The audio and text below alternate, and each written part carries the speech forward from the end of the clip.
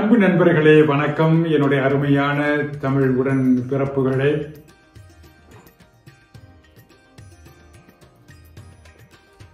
நீர் இன்றியமையாத ஒன்று.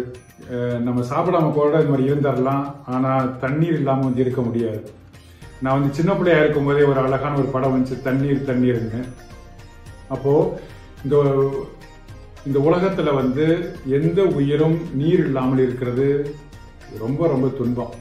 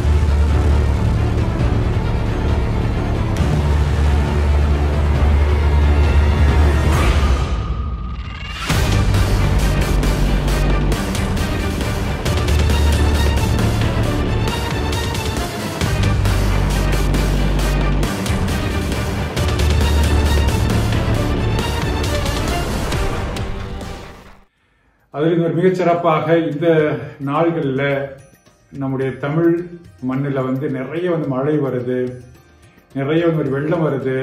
தமிழ்நாட்டினுடைய தலைநகரம் சென்னையில் வந்து இன்னைக்கு வந்து பயங்கரமான ஒரு துன்பம் வந்து கொண்டிருக்கிறத வந்து பார்க்கும்போது ரொம்ப வருத்தமாக ஒரு இருக்கிறேன்.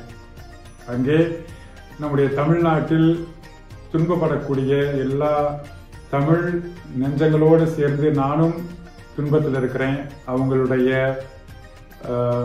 இந்த ஒரு சூழ்நிலையில் வந்து என்னுடைய நெஞ்சார்ந்த பாசமும் அன்பும் நிறைவாக இருக்கிறது நான் அவங்கள்ட்ட சொல்லிக்கொள்ள விரும்புகின்றேன். தண்ணீர் இல்லாமல் ஒன்றும் வந்து வாழ முடியாது. ஆனால் தண்ணீரை வந்து அழிவாகவும் அழிக்கவும் முடியும் அப்படிங்கிறதான் இந்த வழியை நம்ம பார்க்குறோம். நம்ம வந்து இந்த மாதிரி ஒரு சின்ன வந்து குவலையில் வந்து தண்ணியை வச்சு நம்ம வந்து குடிக்கிறது அதே இந்த நீர் வந்து அதிகமாக வரும் பொழுது நம்மளையே வந்து இந்த மாதிரி எண்ணெயை அது வந்து அதாவது வந்து கொல்லக்கூடிய அளவிற்கு போகும். இதற்கெல்லாம் நம்ம வந்து மனிதர்கள் வழிகளை வந்து கண்டுபிடித்து செல்ல வேண்டும் அப்படின்னு சொல்லிட்டு நம்முடைய தமிழ் முன்னோர்கள் நிறைய சொல்லியிருக்கிறாங்க.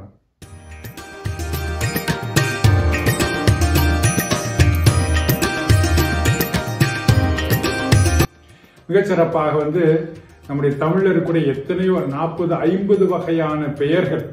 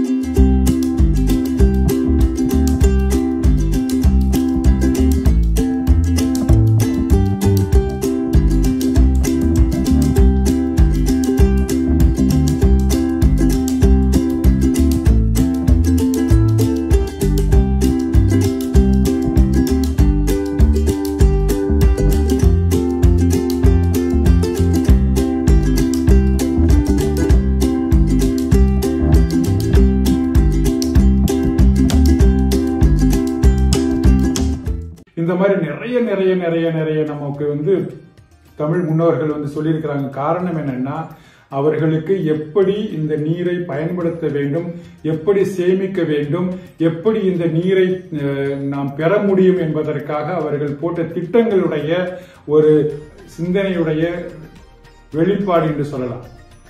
இன்னைக்கு ஏன் வந்து நாம் வந்து ஒரு பக்கம் நீர் இல்லாம ரொம்ப வந்து கஷ்டப்படுறோம் ஆனா அதே சமயத்துல வந்து இன்னைக்கு வந்து இந்த மாதிரி சென்னை போல மாநகரங்கள் வந்து அப்படியே தண்ணியில இந்த மாதிரி மூழ்கி போய் கொண்டிருக்கின்றன. சென்னையில் பதினைந்து மணி நேரத்திற்கு மேலாக தொடர்ச்சியாக மழை பெய்து வரக்கூடிய நிலையில் தாழ்வான பகுதிகளில் பல இடங்களில் சாலைகளில் மழை நீர் சூழ்ந்திருக்கிறது. இதற்கெல்லாம் காரணம் என்ன அப்படின்னு சொல்லி சொன்னா நாம் தமிழர்கள் நம் தமிழ் முன்னோர்களுடைய சிந்தனையிலிருந்து நிறைய நம்ம தள்ளி போயிட்டோம் அப்படின்னு சொல்ல முடியும்.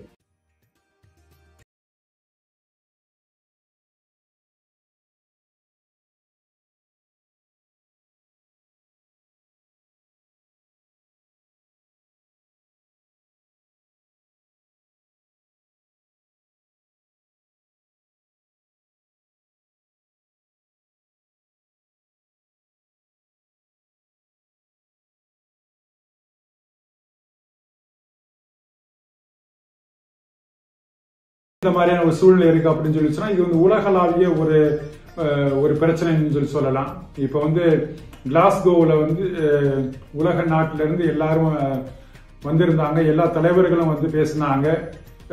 இந்திய துணை கண்டத்திலிருந்தும் ஆளுங்க வந்திருந்தாங்க பிரதிநிதிகள் வந்திருந்தார்கள். அவங்க வந்து பேசுனது என்ன அப்படின்னு சொல்லி சொன்னா எந்த அளவுக்கு வந்து முடியுமோ இந்த அதிகமாக வெப்பமாகக்கூடிய ஒரு சூழ்நிலையை நாம் வந்து குறைக்க வேண்டும் அப்படின்ட்டு. பல வகையில சொல்ல போகும்போது மனிதன் தான் இந்த மாதிரியான சீரழிவுகளுக்கு முதல் காரணம் என்று சொல்லுவோம். ஏன்னா வந்து நம்முடைய சுயநலமும் நாம வந்து எப்படி வந்து இந்த இயற்கையை பயன்படுத்துகிறோம் என்பதை கொண்டுதான் இந்த சீரழிவு வந்து வருகிறது என்று சொல்ல முடியும். இப்போ இந்த மாதிரி வெள்ளச்சேரின்னு சொல்லி சொல்றோம்.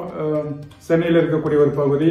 அது ஒரு ஏரியாக இருந்தது. இன்னைக்கு வந்து ஒரு நகரத்தினுடைய ஒரு பகுதியாக ஆகிவிட்டது ஒவ்வொரு ஆண்டும் மழைக்காலங்களில் சென்னையில் பாதிக்கப்படும் பகுதி வேளச்சேரி தான் இந்த ஆண்டும் மழை வெள்ளத்தால் வேளச்சேரி பாதிக்கப்பட்டுள்ளது. ஒரு காலத்தில் முழுக்க முழுக்க ஏரியாக இருந்ததுதான் வேளச்சேரி என்கிறார்கள்.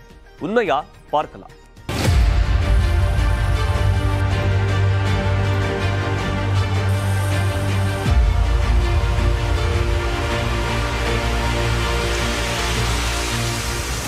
அல்லது வந்து இப்ப நான் இருந்த முந்தி மதுரையில் எங்கள் வீட்டுக்கு பக்கத்தில் ஒரு பெரிய வந்து குளம் இருந்தது.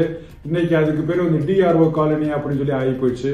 அப்போ வந்து எல்லாம் இந்த மாதிரியான தண்ணீர் போகக்கூடிய வ- வழிகள் எல்லாம் அடைக்கப்பட்டு அதன் பிறகு அதில் வந்து மனிதர்கள் வாழ்வது அல்லது வந்து பறவைகள் இருக்கக்கூடிய இடங்களை நாம் வந்து ஒரு ஆக்கிரமிப்பு செய்து வந்து பறவைகள் இல்லாமல் செய்வது. இப்படி நாம் இயற்கையை நாம் அழித்து விட்டதால தான் இது இந்த- மாதிரியான ஒரு ஒரு கேவலமான ஒரு சூழ்நிலை வந்து தமிழ்நாட்டில் இருந்திருக்குது அப்படின்னு சொல்லலாம். இது வந்து உலக அளவில் எல்லா நாட்டுடைய பிரதிநிதிகளும் வந்து இதை எப்படியாவது வந்து மாற்ற வேண்டும் அப்படின்னு சொல்லி போறாங்க. ஆனால் இதுல வந்து நான் சொல்ல வேண்டியது நம்முடைய தமிழ் முன்னோர்கள் எப்படி இந்த இயற்கையை பேணி காக்க வேண்டும் என்று ஆசைப்பட்டார்களோ அந்த ஒரு சிந்தனையை நாம் வந்து இந்த உலகத்திற்கு சொல்லக்கூடிய ஒரு கட்டாய சூழ்நிலையில் நம்ம வந்து இருக்கிறோம். அப்படிங்கறத நான் இன்னைக்கு சொல்ல விரும்புகிறேன் அன்- அன்பான தமிழ் நெஞ்சங்கள். இயற்கை நம்முடைய நண்பன் நம்முடைய தோழன் அவனோடு சேர்ந்து வாழ வேண்டும்.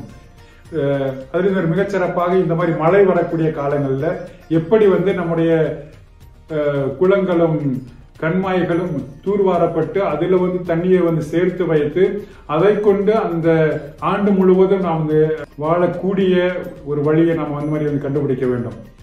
எங்கே பார்த்தாலும் நம்முடைய தமிழ்நாட்டில் இருக்கக்கூடியது ஒன்னே ஒன்று தான் சுயநலம். இந்த சுயநலம் இருக்கிற வரைக்கும் இது நமக்கு வந்து இன்று அல்ல நாளைக்கு கூட ஒரு ஆபத்தாக வரக்கூடிய ஒரு சூழ்நிலை உண்டு. அன்பான தமிழ் நெஞ்சங்களே இந்த ஒரு இக்கட்டான சூழ்நிலையில வந்து சென்னை மாநகரம் போல வந்து சில நகரங்கள் நம்முடைய தமிழ்நாட்டில் இன்னைக்கு வந்து ரொம்ப வந்து அழிஞ்சு போகக்கூடிய ஒரு சூழ்நிலையில வந்து நிச்சயமாக வந்து சிந்திக்க வேண்டும்.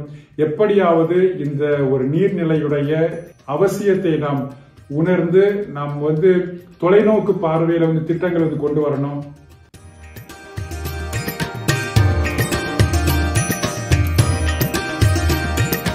சும்மா ஏதோ வந்து ஷோ காமிக்கிறதுக்காக வந்து ஒரு படகுல இருந்துக்கிட்டு நாங்கள் மக்களை பார்க்குறேன் அப்படின்னு சொல்லக்கூடிய அரசியல்வாதிகளை வந்து வெறுத்து விட்டு உண்மையாக உழைக்கக்கூடிய அரசியல்வாதிகளை நாம் தேர்ந்தெடுத்து அவர்களுடைய திட்டங்களை பேணி காத்து நம்முடைய தமிழ்நாட்டில் கொண்டு போகணும். அதை வச்சு இந்த உலகத்தில் இருக்கக்கூடிய மற்றவர்கள் எல்லாம் பாரு தமிழன்னா தமிழன்டா அவனுக்குன்னு வந்து ஒரு நல்ல அம்சம் இருக்கு அப்படின்னு சொல்லிட்டு வந்து நம்மை பார்த்து பெருமிதப்படுவார்கள் நம்மை வைத்து அவர்கள் கற்றுக்கொள்வார்கள்.